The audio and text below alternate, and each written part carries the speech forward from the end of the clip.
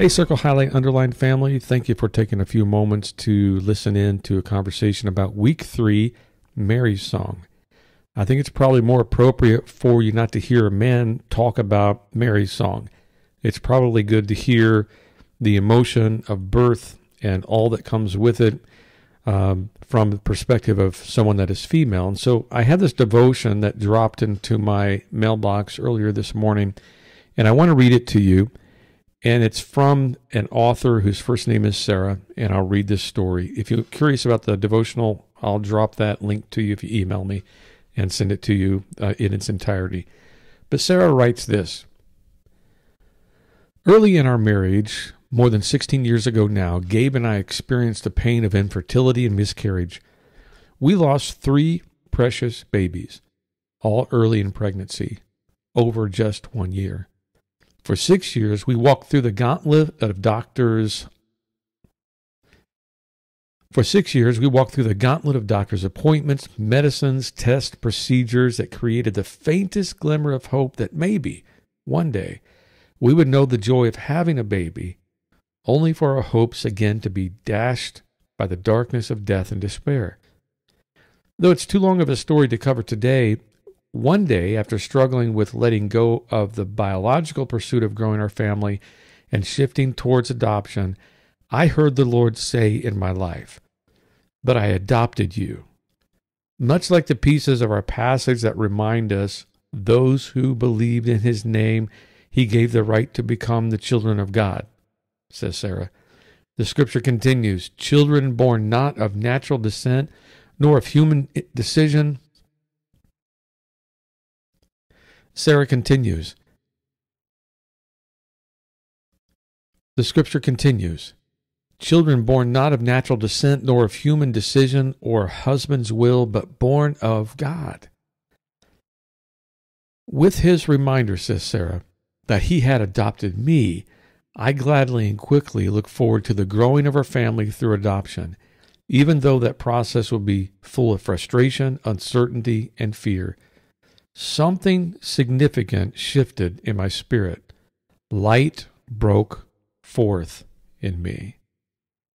As you're reading and listening to this narrative and this story that is very personal to Sarah, you're hearing the emotion and all the energy of a mom that goes into giving birth and preparations for birth.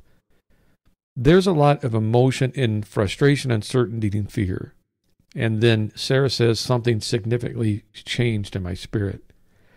In our passage, not talking about adoption, but talking about a miraculous conception, we see Mary also dealing with frustration, uncertainty, and fear. But we see something significant shift in her spirit in this passage. You think of the thoughts that go through her mind initially frustration, this is not how things go. The plan is not supposed to go this way. I'm to be married. I'm supposed to have children like normal people. There's the frustration of married. There's the uncertainty when she says, How can this be? And she's not necessarily doubting God. She's just puzzled on how God's going to accomplish it. And then you can know because of humanness, there would be a sense of fear. But even in the frustration, the uncertainty, and fear, something significant shifts in her spirit. As Sarah said to us, light broke forth. The song that you're reading is the Song of Mary. It is filled with the emotion and the satisfaction that God is fulfilling his promise. In the middle of frustration and uncertainty and fear, Mary is what? Complaining to God? No. She is singing a song to God. Can I encourage you today, just like Mary, in obedience, sing a song to the Lord?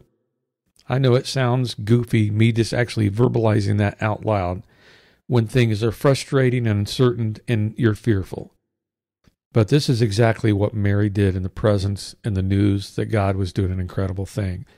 Even in the middle of her frustration, uncertainty, and fear, she sang a song.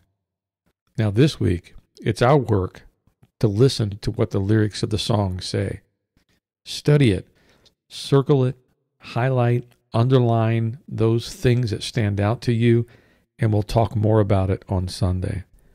Know that God, in the middle of your uncertainty, your frustration, and fear, can give you a reason to hope, and that hope gives you a reason to sing. My friends, God bless you. We love you. Take care.